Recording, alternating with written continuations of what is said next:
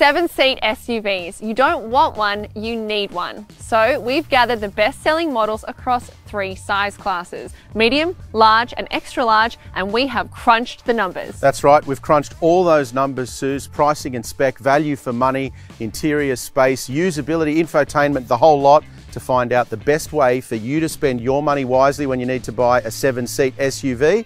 This is the Drive Mega Test.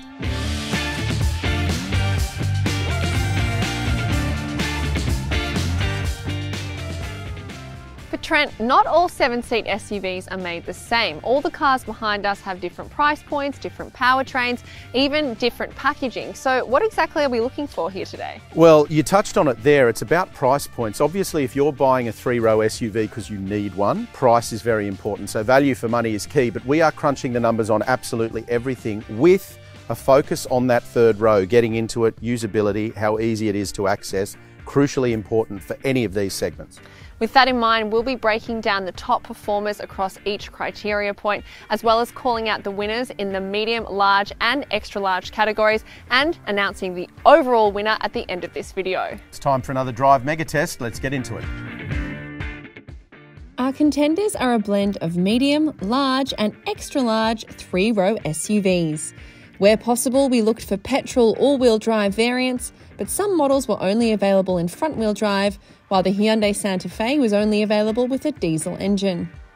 Price wise, we stuck to a loose guide of around $45,000 for medium SUVs, around $55,000 for large SUVs, and around $65,000 for extra large SUVs. Representing the medium contingent is the Nissan X Trail, Mitsubishi Outlander, Honda CRV, and Volkswagen Tiguan Allspace. Competing in the large category is the Hyundai Santa Fe, Kia Sorento, Mazda CX8, and Skoda Kodiaq. Finally, our extra large contenders are the Hyundai Palisade, Mazda CX9, Nissan Pathfinder, and Toyota Kluger. It's no secret we're facing a cost of living pinch at the moment. From buying everyday groceries to purchasing a vehicle to ferry the family, life is simply more expensive in 2023. In this seven seat SUV megatest, we've evaluated all aspects in deciding the frontrunners, but we've paid particular attention to running costs. That is, the price you'll pay to own one of these vehicles ongoing. Of course, we've included the initial purchase price in our analysis, but it also goes much deeper than that, including things like insurance costs, resale value, warranty periods, and service pricing. Only after we've collated all of this data can we crown a winner. Let's get into some of the highlights. The Nissan X-Trail is a household name when it comes to family transport, and this latest generation has a lot to boast in terms of features, driving capability, and comfort levels. However, of the medium SUVs we have on test with us, it has the worst resale and is the most expensive on initial purchase price. It also uses 10,000 kilometre service intervals, which equals more service visits in the long run, according to our average. Honda's new era is well known for its affordable service pricing at just $199 each visit. Its one price promise also means no haggling at the dealership. But service pricing is likely to increase after the first five visits, and the insurance costs are very high. This is why it lags behind in its rivals in terms of ownership costs. Mitsubishi hangs its hat on a strong 10 year, 200,000 kilometre warranty so long as you keep servicing your car at its wide ranging network of service centres. This, plus the Mitsubishi's affordable purchase price, ensure the Outlander is among the most affordable 7 seat cars to own in this megatest. Volkswagen isn't always known for its affordable running costs, but the data doesn't lie, and the Tiguan is the best medium SUV in this test for ongoing running costs. Not only does it have an attractive entry price, but it also has a whopping 9 years of roadside assistance. On the bad side, while it doesn't use a lot of fuel, it must be refueled with premium unleaded petrol. It was once our drive car of the year and remains one of the flashiest options within its size segment, but the Kia Sorento is pricey when it comes to insurance costs and fuel use. On the plus side, the Sorento offers a 7 year warranty and up to 8 years of roadside assistance. The Mazda CX8 sits within the large SUV group at our 7 seat SUV megatest, where things get a little pricier. The Mazda might be one of the most expensive large SUVs to buy, but its service pricing is the most affordable and its insurance premium is fair. It also only requires regular unleaded fuel. The Skoda Kodiaq starts out as the most affordable large SUV within its group, but that price quickly balloons with costly options packages. Our car, as tested, is $10,000 more than its list price. To its credit, the included warranty and roadside assistance programs are generous, but it does require premium unleaded petrol. While it's one of the older cars among its peers, the Hyundai Santa Fe packs a punch in the running cost stakes. The South Korean brand offers roadside assistance coverage for life, which is great, plus its fuel cost of over 15,000 kilometres is the cheapest of its size class. The Nissan Pathfinder is one of the brand's newest cars on sale, but it's also one of the most expensive cars to run in the entire megatest. This isn't helped by a big thirsty engine, nor is the three year retained value anything to boast about. Considering it's the second most expensive car in this comparison, budget savvy shoppers are better served elsewhere. The Mazda CX-9 is a long-running large SUV nameplate, but the current generation is starting to age in this company. It annoyingly succumbs to 10,000 km service intervals, which mean you'll have to get it serviced more often if you drive up to 15,000 km per year. However, it remains affordable when it comes to resale value. It also comes without expensive options packages as it's already well equipped. It's the most expensive car to buy on test and it's also one of the biggest, which means the Hyundai Palisade's running costs are right up there amongst the most expensive.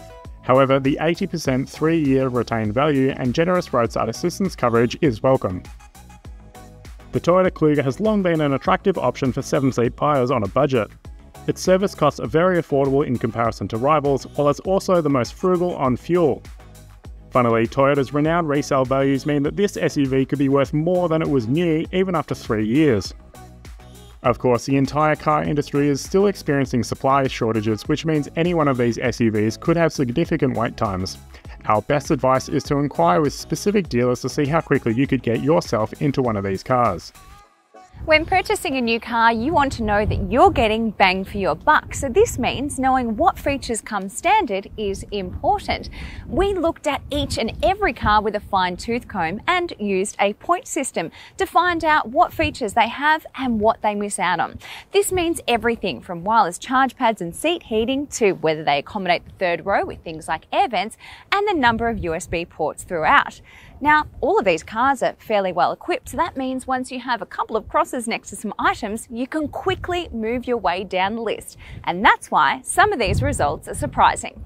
Kicking it off for the medium SUVs, this is the highest ranked. It's the Honda CRV.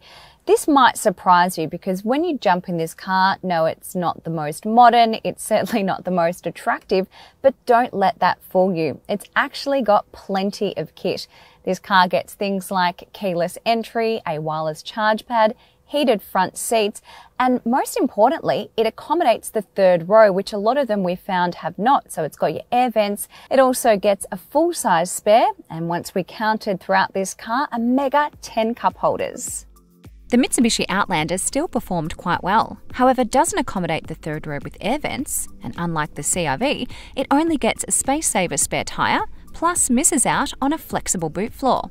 It gained points when we counted other elements such as cup holders, USB ports, and tie downs and hooks in the boot. This particular specification of the Tiguan doesn't get electric seats, seat heating, or ventilation, nor does it provide air vents for the third row. While the boot has a power tailgate, it only packs a space saver spare tyre and misses out on underfloor storage and a flexible boot floor. You can tell that this is a really rough competition when you see that the Nissan X-Trail sits at the bottom of this group. It does well in terms of equipment, but it just misses out on some big details, including it doesn't have a power tailgate. This particular grade doesn't get rain sensing wipers. In the third row, they miss out on air vents, and it's also the only one in its group that goes without a wireless charge pad. But there are some positives. It got leather upholstery, heating for the front row, a power adjustable seat for the driver, and a luggage cover with storage compartment. The Kia Sorento has plenty of bells and whistles, and that's why it is ranked the highest among the large SUVs.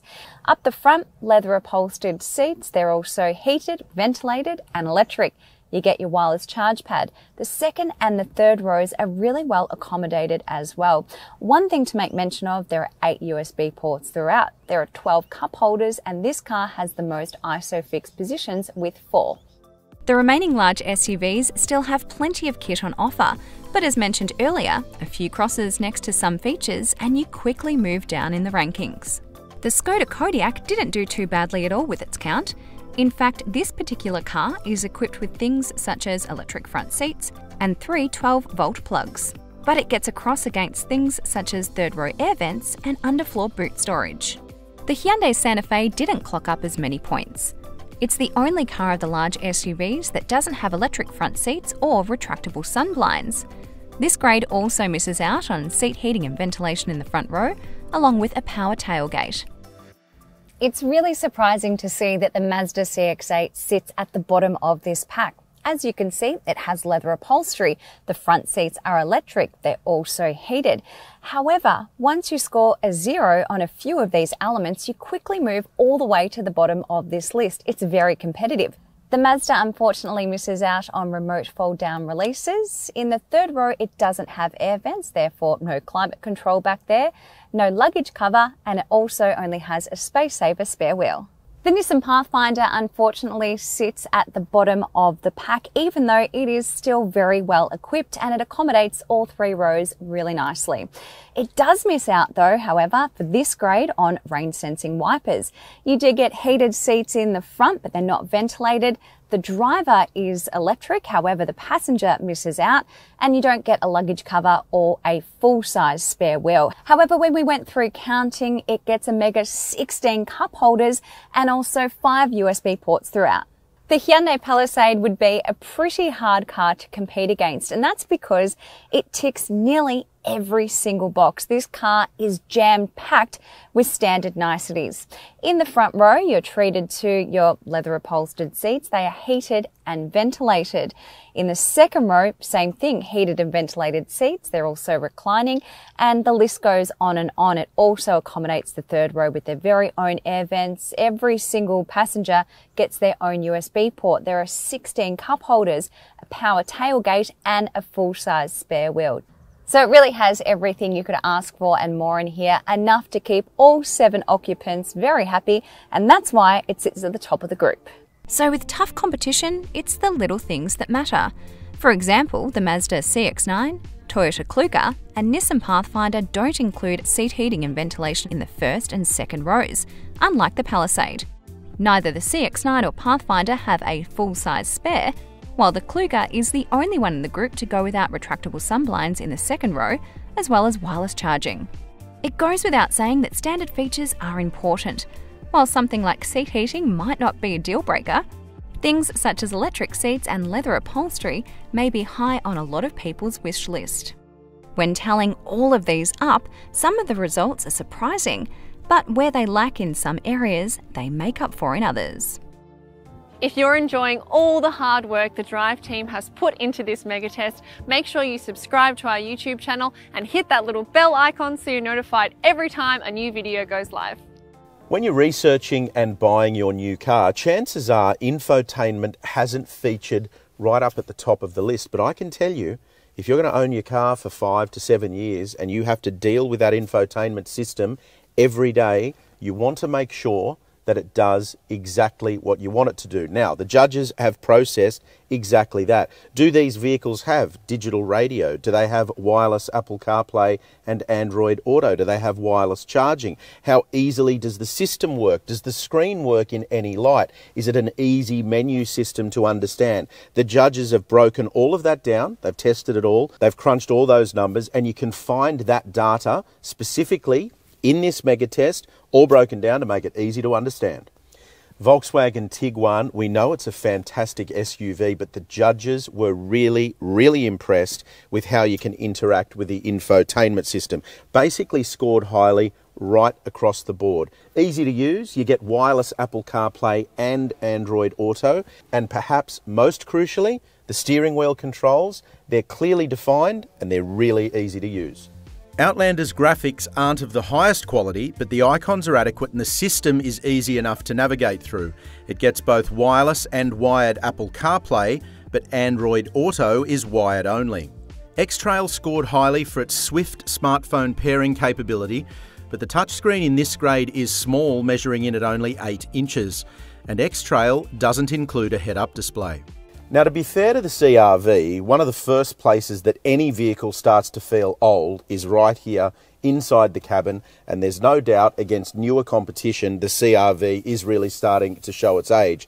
First up, A factor that the judges really didn't like, which I think is an issue, is the screen. It looks bigger than it is. If you have a look at it closely, the screen itself only takes up maybe just over half the actual available real estate. That's not great, and I think it's something that Honda would absolutely change for an update or an all new model. Uh, the fact that it's old means that's the way it used to be, but it doesn't have to stay that way, obviously. You do get wireless charging, but you don't get wireless CarPlay, you don't get digital radio, and you don't get a head up display either. Now, not just the fact that the screen is small. It's one of the most difficult to navigate in terms of working out what you're doing, and the graphics are a little bit old as well in terms of the interface and the way that you interact with it looks a little bit old. In isolation, it's not horrible, but up against competition that's so far advanced now, the CRV is undoubtedly starting to feel old. Large SUVs are getting to the point where they have the functionality, flexibility, and interior space of an extra large SUV. And speaking of space, the screen real estate in this Kia Sorento is just about as good as it gets. It misses out on wireless Apple CarPlay, but it gets just about everything else. The judges loved it. They loved how easy the system is to use, and they loved the fact that the interaction with the screen is a lot more simple than it would be because of the size of the screen. There's so much more there to work with, makes it a lot easier to use when you're on the move, let alone when you're stationary. And overall, this is really well catered to for those family road trips or if you're driving around town. Mazda CX8 gets a solid system and the placement of the screen is ideal for the driver's eye line with premium graphics. The screen is big too at 10.25 inches and you get both wireless and wired smartphone connectivity. The Skoda scored points for its functionality, reacting quickly to inputs, and it gets both wireless and wired Apple CarPlay and Android Auto. Unfortunately, it misses out on digital radio and a head up display. There's no doubt that something that seemed right up to date can seem like it's old hat very quickly, and that's the case with the Hyundai Santa Fe. The screen now feels quite small, and it is physically quite small, but it certainly feels that way compared to the best in the segment. There's no satellite navigation on this unit in this specification, so that's a point worth making. We had some connection issues and dropouts, especially with wireless Apple CarPlay, and effectively, just in general, the way this works, the graphics, the controls, it feels like an older system. That's why it struggles in this very competitive segment. So you've got an extra large SUV, and that probably means two things. You've got the family in tow, and you're spending a lot of time in it. So when you're loading up with the kids, with the family, and hitting the road going on a road trip, you want as much functionality and practicality in here as you can get. This doesn't get wireless CarPlay, the Hyundai Palisade, but what it does get is just about everything else. It's scored really highly by the judges everywhere else. You also get a Hyundai BlueLink system, which means you can control certain functionality of the vehicles from the app on your phone. One of the key highlight points for us, speaking about families and road trips, is the passenger talk function, which means you can speak to people in the third row in the same voice as I'm doing right now. That means you don't have to yell. Mums and dads everywhere, rejoice. Kluger's new infotainment system, 12.3 inches, not only looks the business, but is easy to navigate through and it ticks most boxes, including wireless Apple CarPlay, wired Android Auto, though, satellite navigation, and a detailed trip computer. The touchscreen infotainment system in this Pathfinder grade is smaller than the best in segment at 9 inches, but it does get wireless Apple CarPlay and wired Android Auto. Smartphone pairing and general usage is easy, and the head up display is excellent. The Mazda CX9 is still a favourite in its segment, but the infotainment system, especially when it's compared to its sibling, the CX8, is starting to feel like it needs an update. It doesn't get wireless CarPlay, the CX8 does, and the other factor that starts to get a little bit grating when you compare this system to all of the others that we're doing in this comparo is that it's only a touch screen when you are stationary. So you have to use the rotary dial down here to control the system. You do get used to it and it's solid and it works, but to be fair, we're comparing it right here in this comparison against other units that are touchscreen and work particularly well. The fact that it's getting older in both look and design and that it's low on extra features in comparison to the others in this segment means that the CX9 really now does need an update. In the medium SUV segment, it was the Volkswagen Tiguan Allspace that had the most impressive overall infotainment system, and that held up well in the overall rankings, with the Tiguan Allspace coming in fifth. But the winner in the infotainment segment overall was the Hyundai Palisade Highlander, followed closely by the Toyota Kluger, and then the Kia Sorento in third. With seven seaters, it's all about the space race. Which vehicle has the most room for the larger Australian families? Not just in the first and second row, but also in the equally important third row where usable space can make or break.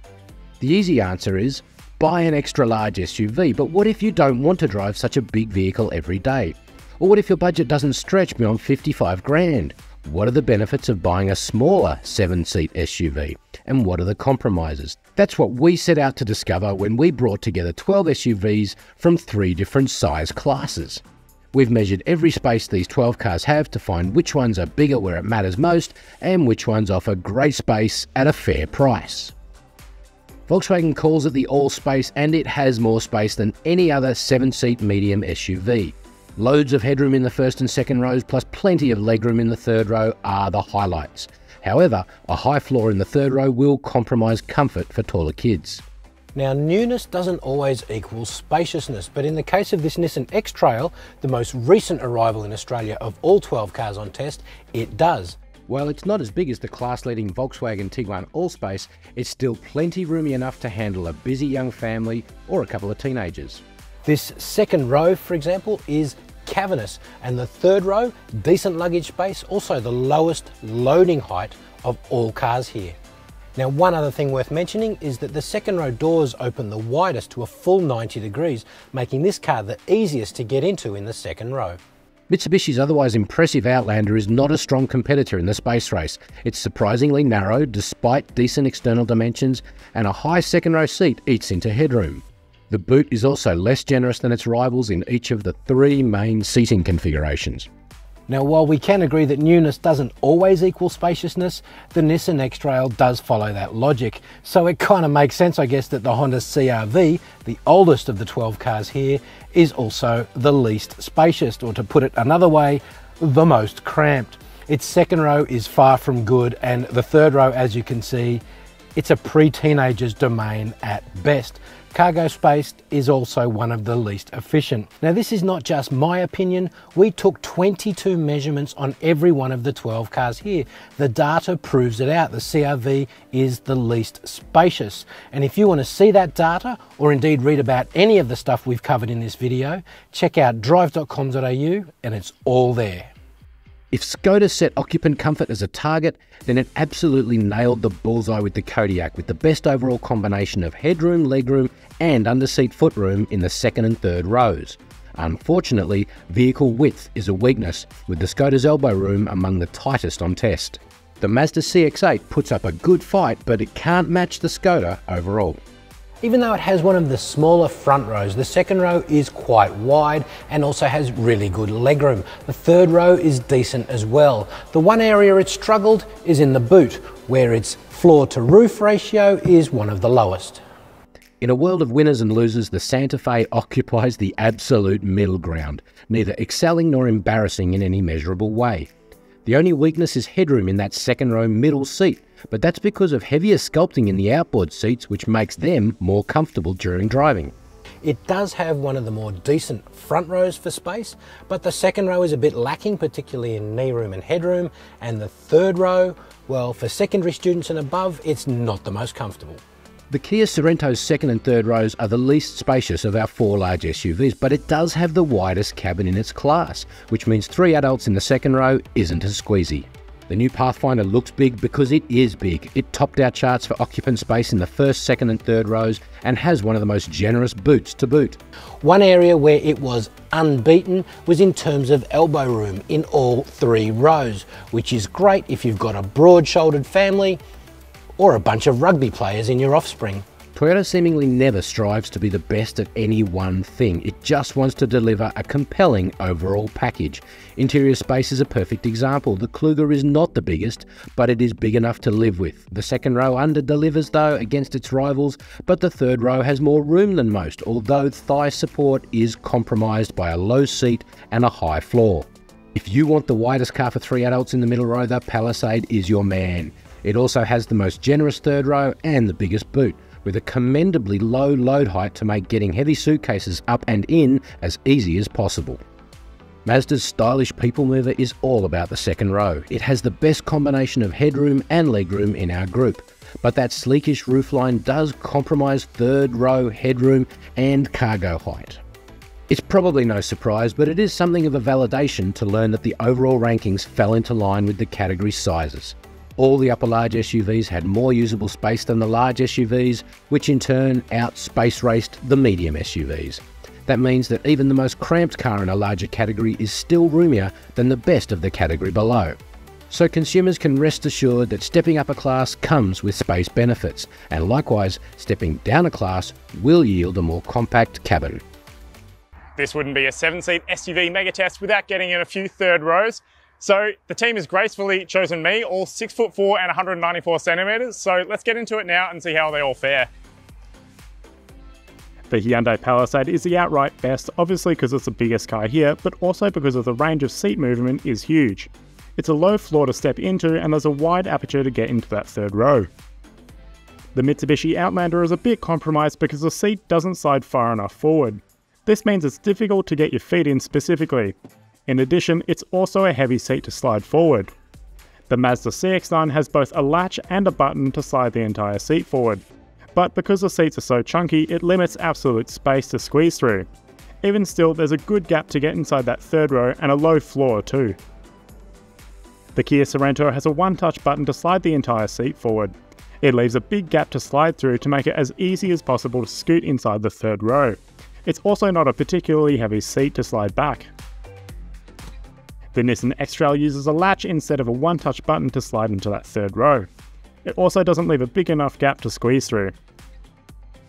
The Hyundai Santa Fe has a handy button to fold and slide the entire seat forward, though the aperture for occupants to get through is small considering the car's outright size. The Skoda Kodiaq has a latch to fold the seat back forward, but you have to slide the seat forward yourself. The aperture to slide through is decent for an adult. Nissan's Pathfinder has a button to shift the entire seat forward and it really moves the entire seat out of the way. Access is one of the best because of this. The Volkswagen Tiguan uses a latch to fold the seat forward like its Skoda relative. While there's a decent gap to squeeze through, the seat is quite heavy to manoeuvre. The Mazda CX-8 is similar to the CX-9 in that it has both a latch and a button to slide the entire seat forward, but its outright dimensions are that much smaller than the Mazda CX-9 which makes it slightly more difficult to slide into that third row. The Toyota Kluger has a latch to fold the seats forward and you can slide the seat out of the way for a sizable space to squeeze through. It's a relatively light action and one that even kids could handle without much fuss. The Honda CRV seats are some of the most frustrating to use on the Megatest. The second row has to fold flat before it can topple forward. This is an unnecessary step which can be plain annoying in a hurry. On the road, judges looked for cars that were comfortable over a variety of urban road surfaces, easy to manoeuvre, quiet in the cabin, and gutsy enough to tackle a fully loaded family road trip. Our 12 contenders were rigorously assessed over a drive loop that contained everything from school zones to train tracks and potholes to four lane freeways, and we identified a few clear standouts. Put simply, the Skoda Kodiaq is a large SUV we love to drive, and that is quite a rare feat in this class.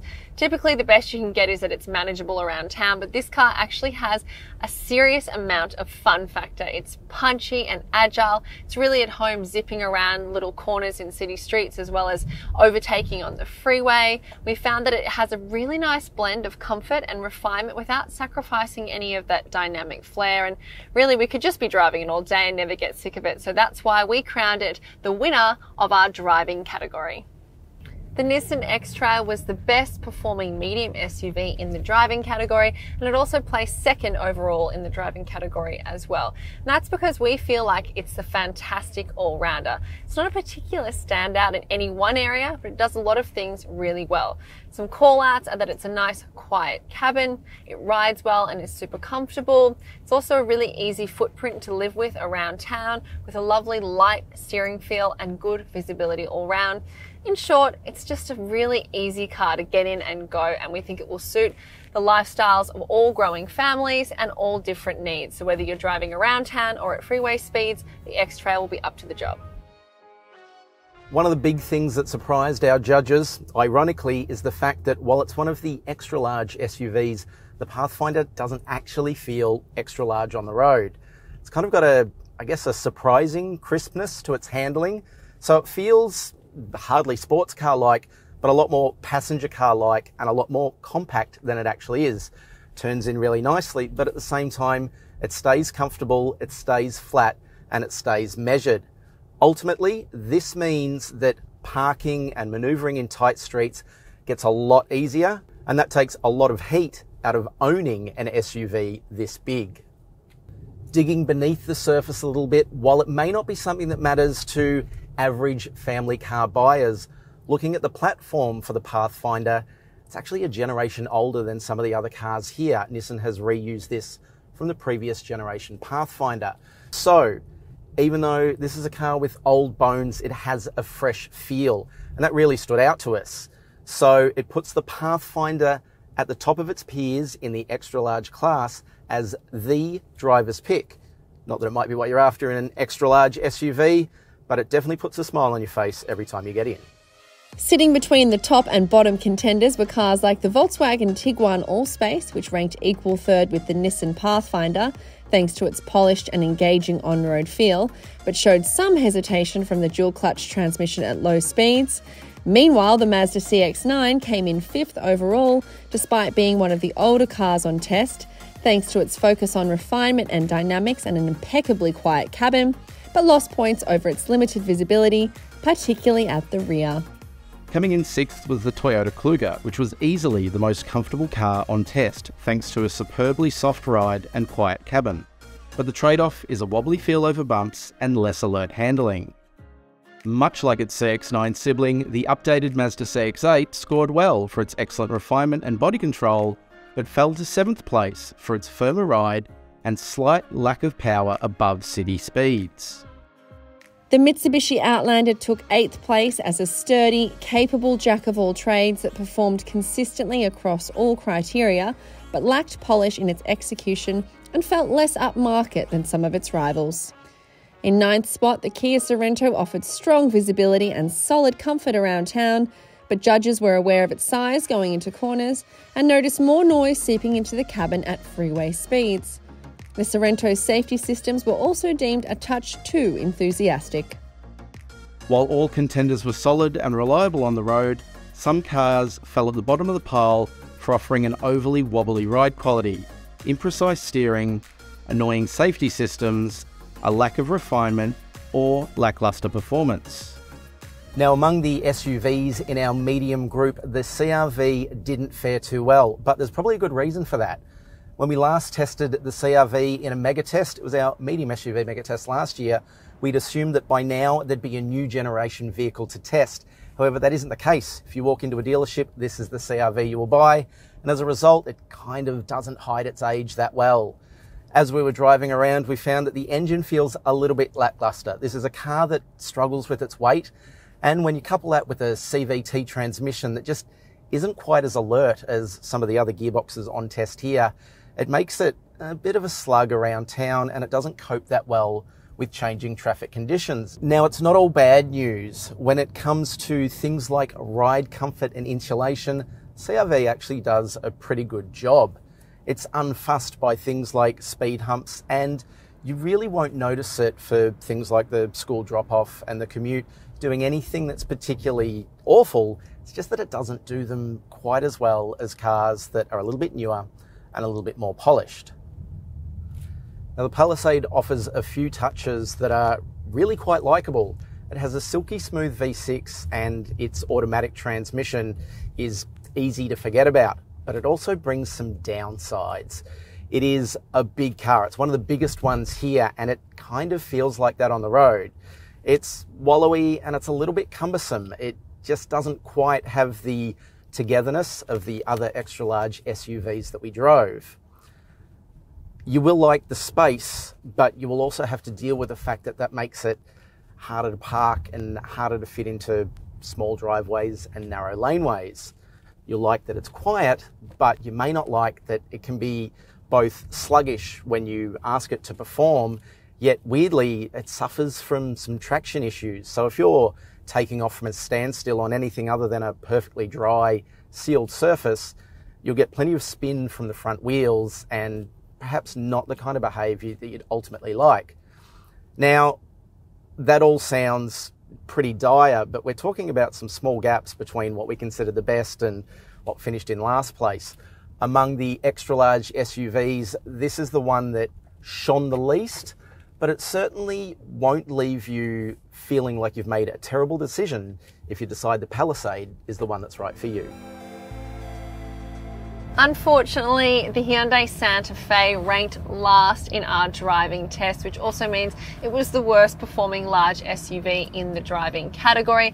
It's worth noting this is a diesel car, so despite our best efforts to get mostly get petrol cars, this is a diesel, which could explain why it felt a little bit out of its depth around town. It is comfortable enough and pretty easy to maneuver, just lacking on refinement. So it has a transmission that felt a little bit unpolished at low speeds and a ride that really felt like it was easily thrown off kilter over uneven surfaces. According to our final scores, the medium SUV that offers the best on road performance is the Nissan X Trail, our pick for best all rounder. For the large category, our favourite to drive was the Skoda Kodiaq. Of the extra large SUVs, the winner of the driving category was the Nissan Pathfinder, followed by the Mazda CX9, the Toyota Kluger, and the Hyundai Palisade. As mentioned, the dynamic Skoda Kodiaq was our overall winner in the driving category, followed by the versatile Nissan X Trail in second place, and the Nissan Pathfinder and Volkswagen Tiguan Allspace in equal third place. If you have a growing family, chances are you also have a newfound appreciation for safety technology, not just for yourself in the front row, but all the way to the third row as well. In recent years, three row SUVs have gained a whole host of new and innovative features to help protect you and your family. From an alert that lets you know if you're about to open your door into oncoming traffic, to a warning that sounds if you might have left someone behind in the rear seats. Of course, in assessing safety, we also looked at the essentials, like whether or not the model has a recent five star safety safety rating from ANCAP and whether or not the curtain airbags extend all the way to cover the third row. The results were vast and varied, so let's get into the details. In first place for safety was the Hyundai Palisade, thanks to its advanced autonomous emergency braking system, recent five star score from ANCAP, and numerous active safety features. It also boasted handy extras like a digital rear view mirror and a safe exit alert.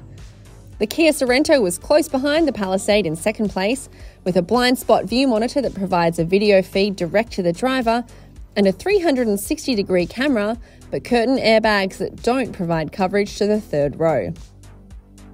In third place was the Nissan Pathfinder, one of the newer models on our test.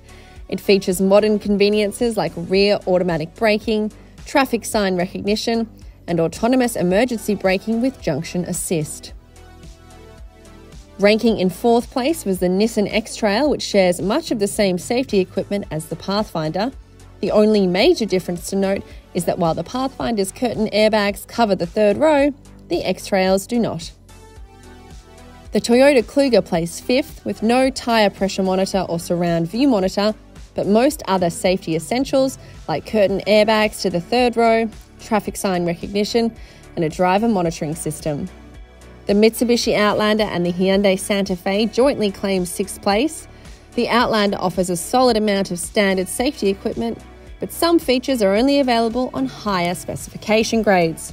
Some notable absences include a tyre pressure monitoring system, no curtain airbag coverage for the third row, and no stop and go functionality for the active cruise control.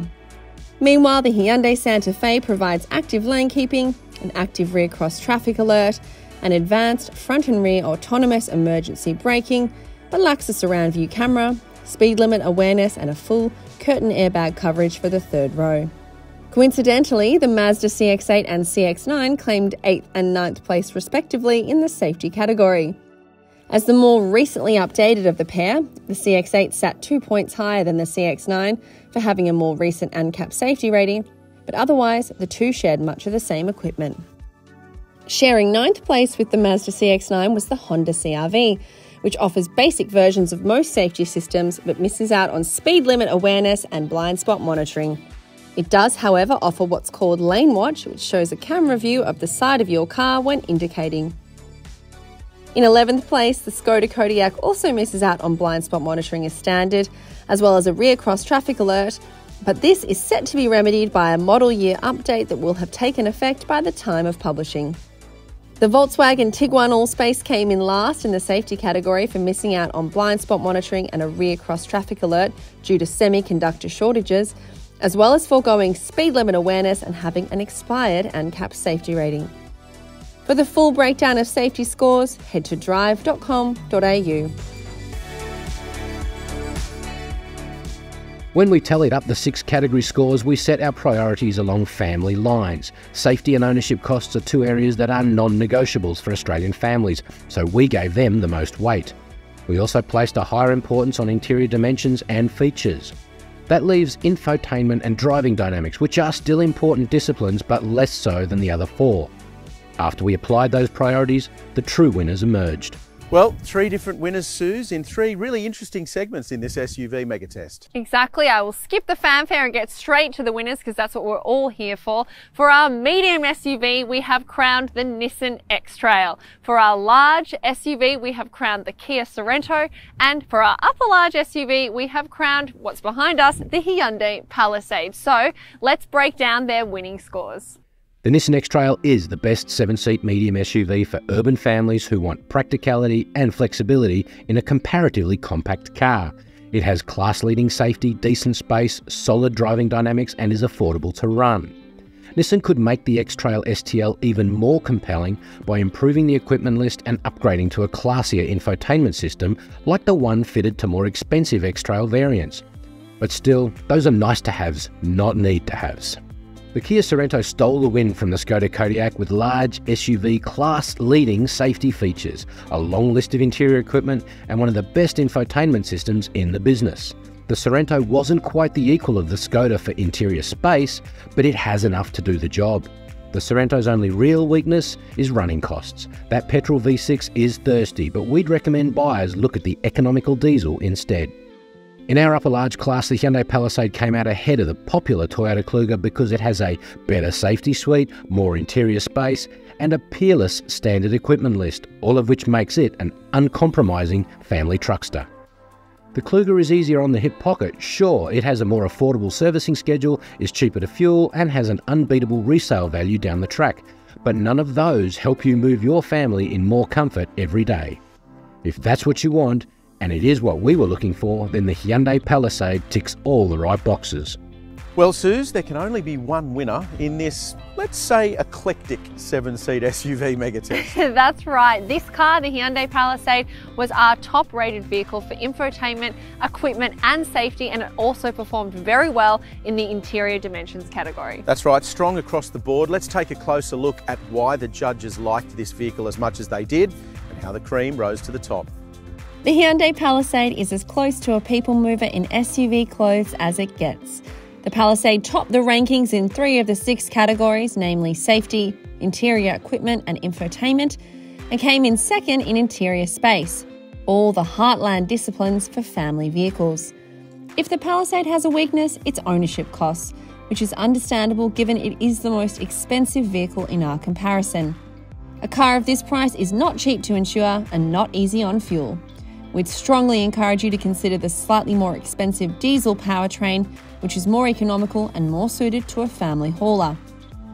One of the questions we posed ourselves at the start was Does stepping up in vehicle class size actually bring tangible benefits? In other words, is bigger actually better? The answer is yes. We saw benefits in all the areas that count, but we also discovered that driving dynamics and running costs are impacted, so bear that in mind. The team put plenty of work into this seven seat SUV mega test, and we just hope that you enjoyed watching it as much as we enjoyed making it. For a full written breakdown of all the categories plus how each car performed in their own scoring, head to drive.com.au now. As always, if you like this video, make sure you subscribe to our YouTube channel and hit that bell icon so you're notified every time a new video goes live. Thanks for watching.